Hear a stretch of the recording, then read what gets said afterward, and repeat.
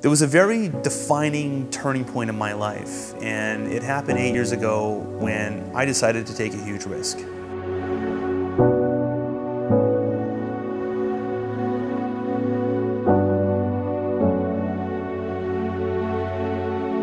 I spent most of my life in the very beautiful but very small state of Vermont.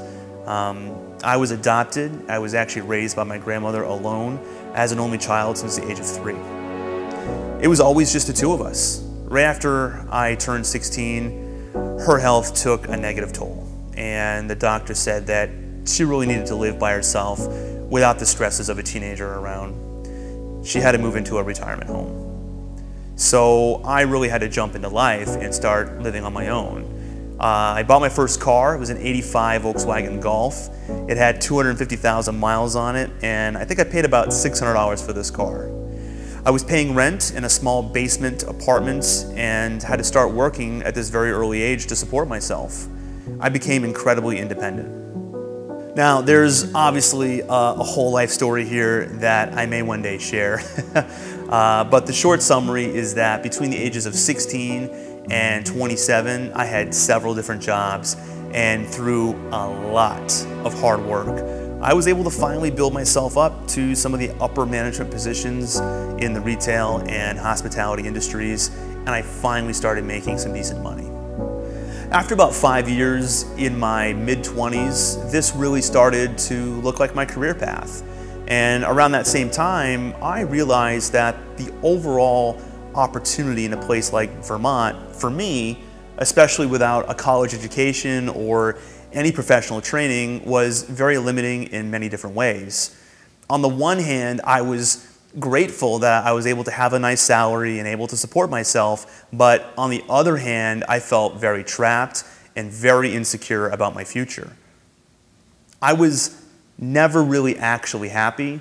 But like so many people that I knew, I had a job and it paid the bills, and that was that.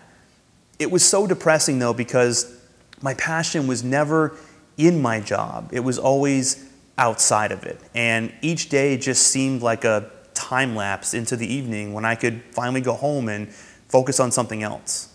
It was late summer 2007. Uh, I was 26 years old.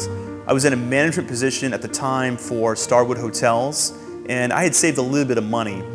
At this point, I decided that I wanted to buy my dream car. Uh, I laugh because this was not the smartest move for me at all. Uh, but looking back, I totally understand why I did it. Um, I just had to have a BMW coupe. it was a 330 Ci, it was gray, with black leather interior, all the options. I absolutely love this car. And it put a smile on my face every time I got behind the wheel. Now, keep in mind that I lived in Vermont and a BMW coupe was pretty rare to be on the road and probably the least practical car I ever could have gotten. In fact, I even had to buy it out of state as there were none on any lots available in the state of Vermont. But I loved it. When I put my suit on and got ready in the morning to go to work and I got in this car, I felt like James Bond. I think that at this point, I was seeking something to really motivate me to try and do better at work and something to just kind of give me a little bit more of a structured goal. This was sort of that carrot on the stick, so to speak. Uh, it was something to keep me going and to keep me just focused. That's at least what I told myself. It was about four months into the car's ownership. I went into work one day and I was called in the office. I was let go. Uh, it was honestly the first time I'd ever been let go from a job in my life. And although I was pretty young, I had been working since such an early age that already at 26, I had been working for 10 years. I was absolutely devastated. I know now today, looking back, why I was let go. It, it had everything to do with the fact that I just, I didn't have a true passion that was needed to excel in that assignment. And trying to fake that or trick myself with the car or anything else for that matter, it was just a, it was just a bad situation waiting to happen. The next day after I was let go, it was New Year's Eve 2007, and I will never forget this day. Um, I was home alone in my apartment. I had a roommate, but he was away for the holidays. I was sitting there in the upstairs bedroom, looking out the window late in the day at that gray, depressing, dismal, freezing, sub zero winter weather. and it was so quiet that I could hear a pin drop. And then it started to snow really hard. And I remember looking out at the grill of my car, almost having a staring contest with it, watching as the snow started to cover the hood. And I remember thinking to myself, what have I done? Um, I have this ridiculously expensive car, and now there's no way to pay for it, or for rent, or anything else for that matter. This was a very scary and serious low point for me. Um, it was then that I really understood regret. It became clear what a reckless mistake I just had made. I just kept watching the snow continue to build up and eventually start to bury the car. And in some weird way, this was kind of foreshadowing my whole situation at that time. I felt trapped and I felt buried in something that was not only the car, but a, but a life that I just needed to break away from somehow. It was about two or three days later, uh, my good buddy Greg called me and invited me out for a drink and a bite to eat. I think that he just wanted to see me and make sure I was okay and you know talk to me about the whole job loss situation. I said okay, and we met at this place called Flatbread, which is one of my favorite places to go in Burlington. I remember we sat there at the bar, and Greg, being the amazing person that he is, said all the right things and tried to build up my confidence back to where it was and make me feel better about myself and in life. Uh, he reminded me how independent I am and how I'll always succeed no matter what. And then, God, after knows how many beers, in that moment, um, he says, Wait a minute, I think I know of a buddy of mine that may be looking for help. And he owns an aviation company. Maybe you'd be a good fit. So, right then and there, in that very moment, Greg whips out his cell phone and sends a text message to this guy. I mean, it was literally 11 o'clock at night. And what sent chills up my spine was the fact that this guy on the other end of the phone responded right back to him in that moment and said, Yeah, send me his info. That aviation company was located in South Florida. And within two days, I was on a plane for a week long interview process that resulted in me becoming the director of marketing for that company. When I flew back to Vermont after that interview, uh, it was to say goodbye. And this was the hardest thing I've ever had to do. And to this day, I don't know how I did it. I had to say goodbye to everything that I had known all my life. I had to say goodbye to my friends and all the little familiar things that were home and made Vermont such a special place for me. Um, most difficult, the most difficult was I had to say goodbye to my grandmother, um, who was really my mother. Um, you know, at, at this point, she was living in a retirement home, and this was hard because I really had a horrible feeling of, of guilt leaving her alone. But I knew that I knew that I had to do this, and I knew that I would always regret not going and trying something new. I had to take this risk and capitalize on this opportunity to see where it would bring me and how it may change my life. So on January 17th, 2008, just a little over two weeks from losing my job, I finished stuffing all the really important personal items in that little BMW and I put the bigger things that I didn't need right away in a storage unit up in Vermont. I subleased out my room in the condo and I said goodbye to everybody. It was a Thursday and I started driving to Miami. I was scared. And tears covered my face so bad that I had to pull over several times along the way. I finally arrived in South Florida on Saturday, late that afternoon, and a week later, I started my new job. Now, whenever you start a new job, things are always exciting, and you're learning new things, new people, and all that good stuff. Well, as it turned out, I hated it. I didn't end up liking the job at all. I didn't like the dynamics in the office. And once again, I was left in a position where I had very little to no passion for it. But I was grateful. I was grateful for my friend Greg for making the connection, and I was grateful to have a job, one that would more than pay my bills. So I just sort of became and almost accepted the fact that I'm just going to be another guy living life with a job and career that he hates just to make ends meet. And that's really sad. I started to feel empty inside and very distant with who I knew I really was as a person. And that spark that's within me has been the very thing to keep me straight and persistent and on the right path for so long, it was starting to fade. I hated that feeling more than anything. And I started to think about moving back home to Vermont. Now things get interesting. March 7th, 2008, just two months after moving to South Florida, I went on the first date with my now wife, Adrena. We had dinner at the Grand Lux Cafe in Aventura Mall, and we started to fall in love from that point forward. She's everything I could ever have asked for. Beautiful, smart, successful, independent, and most importantly, makes me laugh.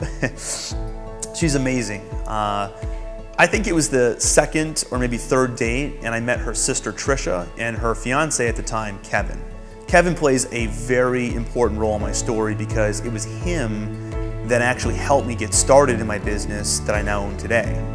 First of all, Kevin is a very successful businessman, an MBA, the whole nine yards. This guy saw my talent as a photographer, saw my true passion for it, and basically pointed out that, you know, hey, this is what you should be doing with your life. And he was right. So with his help, we ended up making that transition happen. Now, up to this point, photography was really just a hobby and perhaps a creative outlet for me especially when I lived in Vermont. The photography started back in 2004 when I got my first digital SLR camera and I became obsessed with making pictures.